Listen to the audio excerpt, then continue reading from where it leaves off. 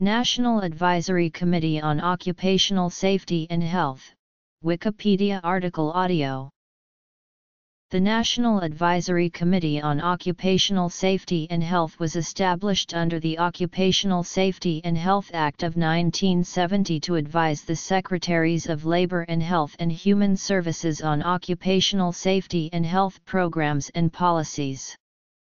Members of the 12-person advisory committee are chosen on the basis of their knowledge and experience in occupational safety and health.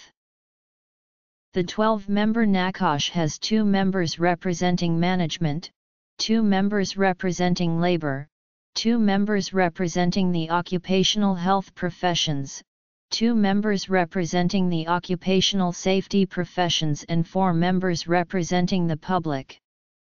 Two of the health representatives and two of the public members are designated by the Secretary of Health and Human Services, although actual appointment of these members, as well as all other members, is by the Secretary of Labor. The members serve two-year terms.